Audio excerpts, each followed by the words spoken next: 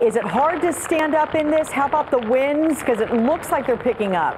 When I'm closer to the bayfront, it is very difficult to stand. Another reason why we moved away. As far as those evacuations that you talked about, did people heed the warning? St. Augustine and all of the county that surrounds it, there are 1,700 people in shelters just in this county and also 300 pets. And actually, this area is the hardest hit area. And I just want to show you how deep this goes. We're in the middle of the parking lot. Very different story in St. Augustine right now. See just how deep it is. After this, we are going to move to higher ground and get shelter. And if you look out further, I want you to see the bay is overflowing here. Excuse me, sir, have you made sure, is, that, are, is anyone in this home? Have you seen if, if they're okay, if they evacuated? Um, they tell me that uh, law enforcement did tell them to lock their doors to take shelter. This area is blocked off, so parents don't try to come and get your children right now. This is the most movement that we've seen from SWAT so far. Like SWAT officers are coming out with people from inside of the building. Uh, look behind me right now across the street. This is unfolding. I'm going to get out of the way. Clara, can you see your daughter? Yeah, I see her. You see her? Yeah, I do. Can you describe, because my cameraman's over there, can you describe uh, what you see over there? Thank you so much for speaking with us. We've been speaking with Clara Cruz all morning. Suspect is dead after leading authorities on a high-speed chase following an armed robbery. A huge ruling for parents who choose to have their kids opt out of the Florida Standards Assessment Test, or FSA. Thousands of people won't ever be able to see or live in their homes again because of the damage left behind. This is such a resilient community despite the fact that many people lost their homes, their neighborhoods covered in hazardous debris. They call them heroes. In New Orleans, Shelby Danielsen, First Coast News. There's ongoing racial tension and even bullying. So we spoke with the superintendent and the principal of Fleming Island High School. Team coverage, and we begin with First Coast News' Shelby Danielsen, who has been outside of Hyde's home since this morning. And Shelby authorities have been digging there in the backyard. That's right, Heather. They've been digging. They've been wheeling carts in and out of the house full of items. We begin tonight with First Coast News' Shelby Danielsen with the latest on the search for evidence in Jacksonville Beach. Shelby? Well, Heather, they took a brief hiatus overnight with their search efforts here, but of course they're back now, and as we know, they could be here for days. Our Shelby Danielsen has been covering this case since it broke this week and joins us now with the latest. Shelby? Well, Ronnie Hyde's home is now FBI free as he remains in jail without bond and on that murder charge. Shelby joins us right now with information you'll find only here on First Coast News.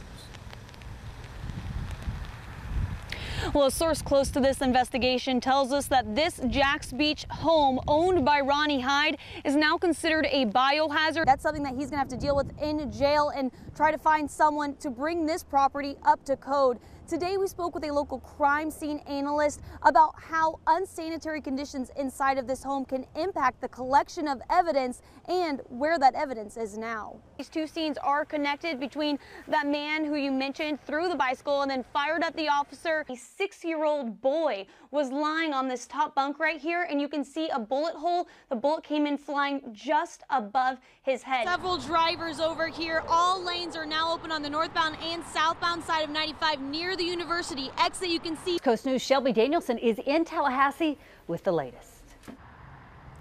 To put it simply, the majority of the senators inside the state capitol today say it's not enough, and that's why they have filed a complaint. A mix of emotions for families today, many of whom have been coming to this building every day of the three rounds of hearings over the past 16 months. He stole his mother's vehicle after killing her. Police found him just a few hours after that investigation started yesterday afternoon.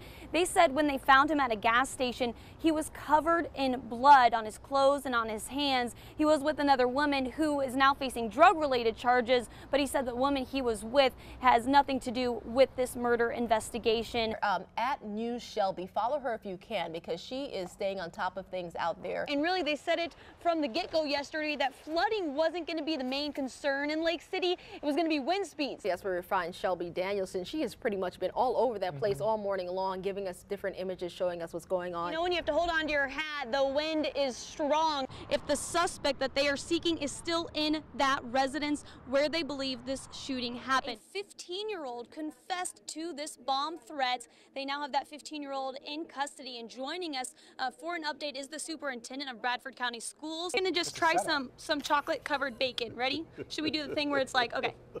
Oh. Mmm. Oh, is this like Lady and the Tramp? I'm going to tell you something. This is taking a weird turn, Shelby. Um, I okay. I thought I was gonna go right, but um, okay. We're gonna just park it right there. So these are all part of their training today, and we even have the master notes from the director. And these are top secret. I'm just kidding, not really. She's actually over here and she's gonna tell us a little bit about it. No broken legs on this river walk. Just make sure you wear your helmet. And look who I found running along the river walk tonight, Mike Crangley. and he has a forecast for all you runners out there. Hey, it's awesome out here. Amazing. Thank you, Lisa. Now stick around, catching up with those women raising awareness about breast cancer coming up. But first, we want you to know plenty of fun events happening around the First Coast. Patty Jacks is joining us live in the studio to tell us the top.